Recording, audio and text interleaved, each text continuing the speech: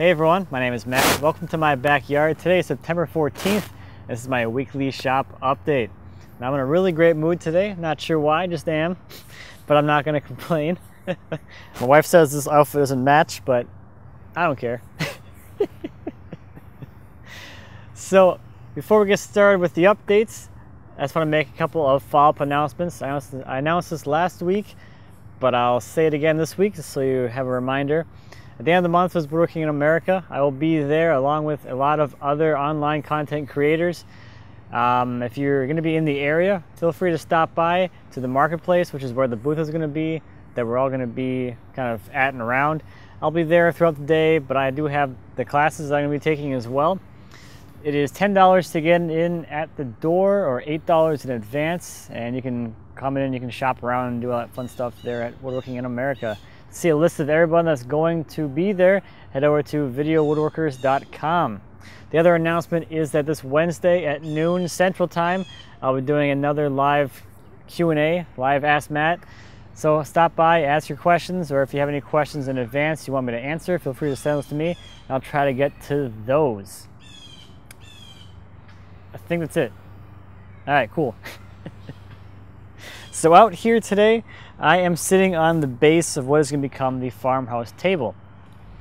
Now I posted a picture of the SketchUp rendering of this table on Instagram. I think that was last week or something. And I got a lot of great response. Seems like a lot of people are really interested in that project. And that's going to be the, or one of the first classes that I'm going to be shooting as a video class workshop thing. So that's what I'm working on out here. Now my parents were in town this weekend, so my dad was here helping me move these big slabs around and we got the slabs processed for the tabletop. And what that means is I cut them to length and I ripped off the live edge so they're ready to go and become a tabletop. This is one of the cutoffs from that tabletop. It was, the, the two slabs were both 12 quarter, so three inches thick, and one is gonna be about 16 inches wide or so, and the other is gonna be around 23 inches wide or so. And this is all white oak. So these are pretty heavy, so that's going to be a really fun build, and I'm looking forward to building that whole thing because it's going to be a lot of fun. A lot of uh, pretty sweet joinery on that one, so looking forward to that.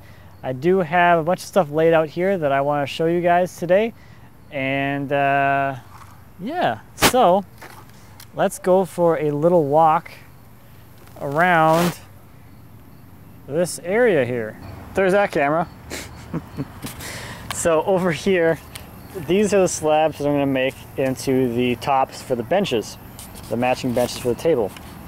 So I had the whole log laid out here and there were two more slabs here that were pretty big that I'm not going to need for this project so I stored those away in the shed.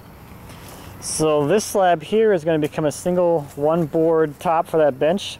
I think once I get this edged and straightened that should work out just fine. And then this one and that one I'm going to rip and then glue together to get the other bench top. This one's gonna be pretty cool because it's got this nice crotch figure in it, so that's gonna be a nice feature of the table.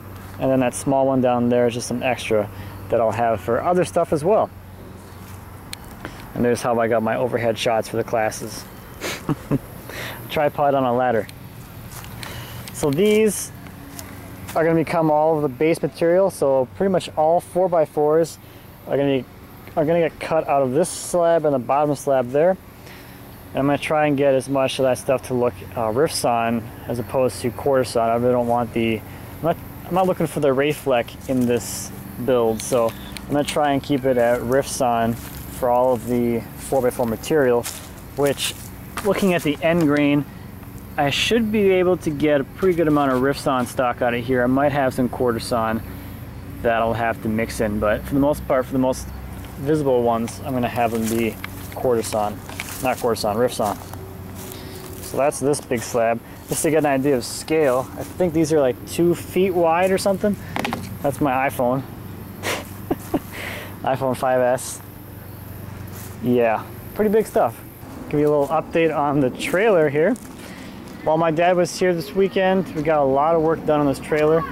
Got the whole center section filled in, or at least most of it, up to about there. This plate is super heavy and we got that installed. I painted the other side before I welded it down and then I still have to paint uh, the top side here so it doesn't rust.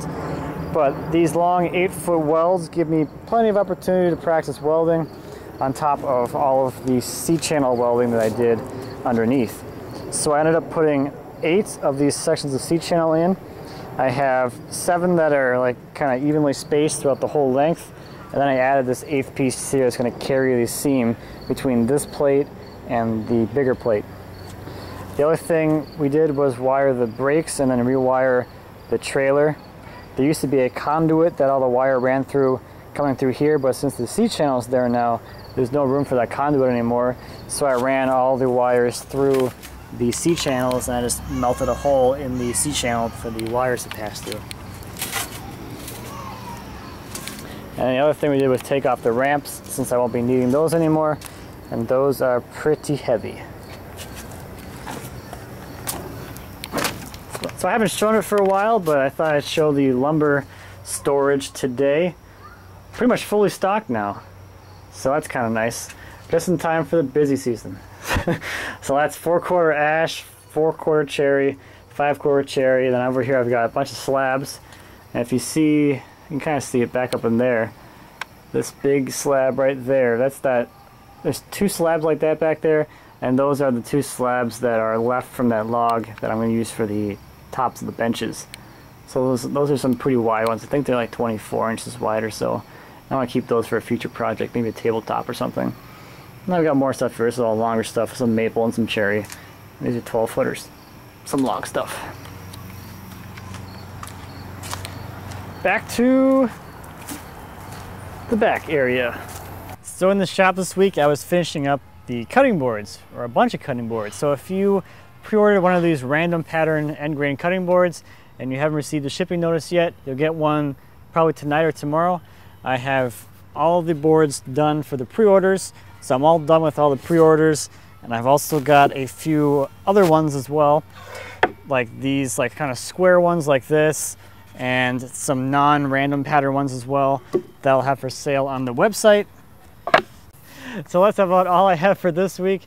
Thank you as always for watching. I greatly appreciate it. If you have any questions or comments about anything I talked about today in the backyard, or my shop, or whatever, please feel free to leave me a comment. As always, I'd be happy to answer any questions you might have. Until next time, happy woodworking.